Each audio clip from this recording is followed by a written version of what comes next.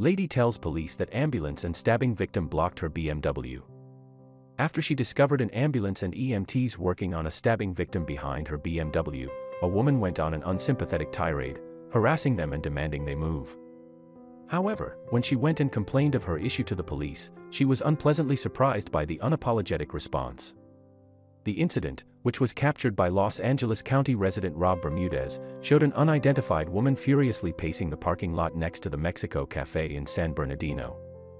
Apparently, the woman was incensed that her BMW had been blocked in by an ambulance filled with EMTs performing life-saving procedures on a stabbing victim. It's true that most people don't like being inconvenienced by interruptions to their schedules. However, most people would also make an exception for incidents that involve saving a human life. Unfortunately, one California resident didn't find a life and death situation worth giving up a moment out of her busy day. The woman had apparently begun harassing the first responders just moments before Bermudez managed to start filming the heated exchange. The woman had demanded that the medical professionals, who were in the process of treating an individual who had been stabbed in the head, move the ambulance so she could back out her vehicle. Ma'am, I'm doing my job. Please, get in the vehicle, an EMT said. Yeah, you need to move it, the woman yells back. In due time, the EMT calmly replies. The woman hounds the EMTs as Bermudez steps in to confront her for harassing the first responders. Incredibly, she not only admits to her appalling behavior but attempts to justify her sense of entitlement. I think that he needs to move, she says. Because he's blocking you in, the man recording asks. Yeah, she exclaims.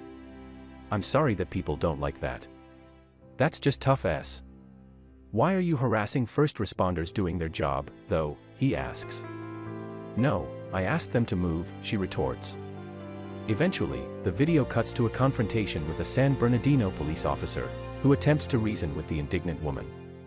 Unbelievably, the woman once again complains that the emergency workers must move their ambulance so that she can leave.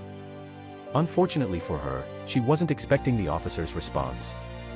We have someone who got stabbed in the head, so, we can't do that right now, okay, a San Bernardino police officer tells the woman.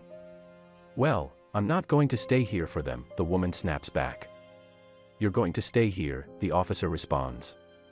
The woman pauses for a moment before trying to intimidate the officer, arguing, No, we're going to move the car.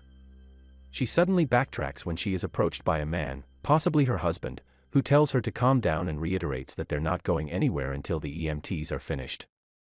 In one final attempt to save face, the woman again engages the police officer, arguing that there is no reason for the EMTs to remain parked behind her car, even to treat a stabbing victim. The woman condescendingly asserts that if the circumstance was an emergency crisis, they wouldn't stay there. Of course, her contention is ignorant, as EMTs are routinely faced with critical situations in which they must stabilize the patient before they are able to transport them. Additionally, emergency workers aren't able to leave until everyone and everything is secure in the ambulance, even if it is no longer an emergency crisis. According to Bermudez's post, the woman was identified by Facebook users as an operating room registered nurse at Corona Regional Medical Center, but this remains unconfirmed. He later alleged that she was fired from her job because of the video. This individual is no longer an employee of Corona Regional Medical Center. We do not condone this sort of behavior and appreciate all those who have brought this concern to our attention. If she were the one being treated for a life-threatening injury, she would probably want the first responders' full attention on her instead of some entitled harasser who is upset that they have to wait a few more minutes to leave.